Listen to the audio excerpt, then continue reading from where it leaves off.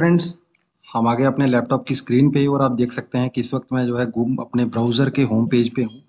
और सबसे पहली वेबसाइट जिसके बारे में आपको मैं बताना चाहूँगा, लेकिन उसको बताने से पहले मैं थोड़ा सा आपको ये बता देता हूँ कि डिवाइस फिंगरप्रिंटिंग होती क्या है। तो डिवाइस फिंगरप्रिंटिंग की हम बात करते हैं तो इसके बारे में विकीपीडिया क्या कहता है, ये देखते हैं थोड़ा सा। तो डिवाइस फिंगरप्रिंटिंग क्या है, किसी भी मशीन की जो है इंफॉर्मेशन को कलेक्ट करते हैं।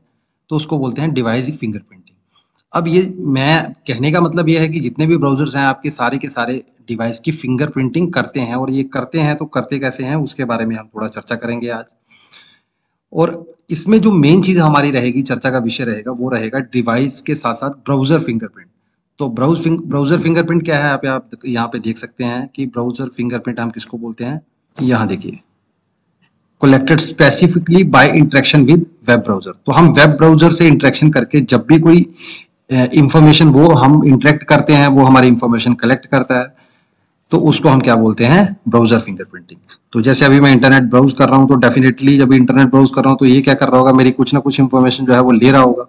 अब इन्फॉर्मेशन ले रहा है, लेकिन मुझे कैसे पता लगेगा कि मेरी इन्फॉर्मेशन ले रहा है या नहीं ले रहा? तो मैं क्या करता हूँ यहाँ पे, एक वेबसाइट पे जाता हूँ, आपको दिखाता हूँ।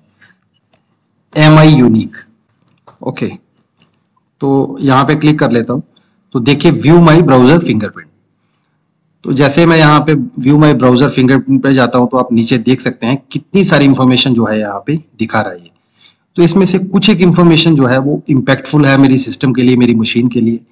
जैसे यूज़र एजेंट क्या है, जो रेड में आप देख रहे हैं, ये सारी की सारी जो है हार्मफुल हो सकती है। ज़रूरी नहीं है, कुछ एक फॉल्स आउटपुट भी आपको दिखाएगा ये।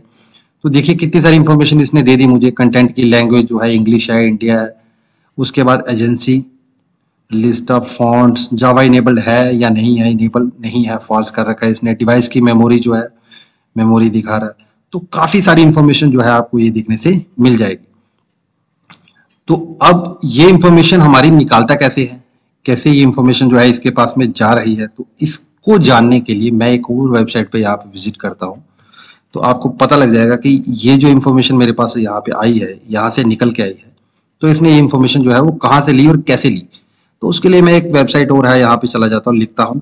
क्लिक क्लिक और फिर से क्लिक। तीन बार click click click, dot, click. Okay, काफ़ी अजीब नाम है। चलिए, एंटर प्रेस करते हैं तो देखते हैं क्या ओपन होता है यहाँ पे। तो देखिए, क्या आ गया यहाँ पे? एक ब्लैंक स्क्रीन आई है।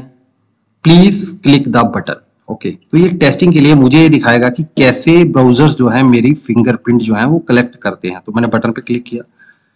तो फ्रेंड्स आप यहाँ पे देख सकते हैं कि सब्जेक्ट क्लिक द बटन अब मैं यहाँ पे कर्सर लेके जाता हूँ। Subject has moved the cursor to the top left area of the window okay यहाँ पे लेके जाता हूँ। ये क्या बोल रहा है? स्ट्रेट डायरेक्शन तो आप सुन भी सकते हैं ये बता भी रहा है कि क्या इंफॉर्मेशन जो है मेरी कलेक्ट की जा रही है कैसे कलेक्ट की जा रही है तो सारी कुल मिलाकर के ये सारी की सारी इंफॉर्मेशन जो है इसके पास में अवेलेबल है।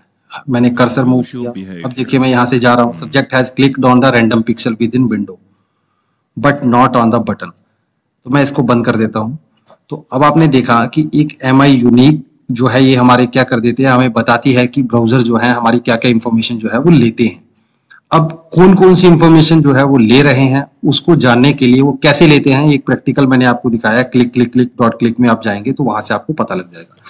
एक तीसरी वेबसाइट जिसके बारे में हम बात करेंगे, उसका नाम है ब्राउज़र लीक्स तो ब्राउज़र लीक्स डॉट कॉम पे जाते हैं। तो ये देखिए क्या क्या इंफॉर्मेशन जो है, यहाँ पे आप देख सकते हैं, अपने ही सिस्टम के बारे में। तो मैं जाता हूँ आईपी एड्रेस में तो यहाँ से मेरे को आईपी एड्रेस मिल जाएगा। ये देखिए आईपी एड्रेस के साथ साथ आपके पास में काफ़ी लोकेशन तक आ जाएगी यहाँ पे ओके दूसरी चीज़ हम यहाँ से क्या देख सकते हैं? हमें कुछ आपको जावा स्क्रिप्ट इनेबल्ड है, नहीं है फॉन्ट फिंगर प्रिंटिंग है। फॉन्ट फिंगर प्रिंटिंग देखते हैं। ये देखिए तो कौन कौन सा फॉन्ट्स जो है वो मैं यूज़ कर रहा हूँ या किया है तो सारी की सारी इंफॉर्मेशन आपको जो है वो अपने सिस्टम की स्क्रीन पे मिल जाती है। तो फ्रेंड्स काफ़ी इंटरेस्टिंग है ये वेबसाइट्स जो मैंने आपको बताई हैं। उम्मीद करता हूँ आपको आज का वीडियो पसंद आया होगा। वीडियो पसंद आया है तो चीज़ों को एक्सप्लोर कीजिए, खोल के देखिए अपने सिस्टम पे क्या क्या इन्फॉर्मेशन रिवील्स होती हैं। तो वीडियो पसंद आई है तो लाइक कर दीजिए चैनल को सब्सक्राइब नहीं किया तो सब्सक्राइब कर लीजिए। तो मिलते हैं एक नए वीडियो में नए टॉपिक के साथ। तब तक अपना ख्याल रखिए। Till then good bye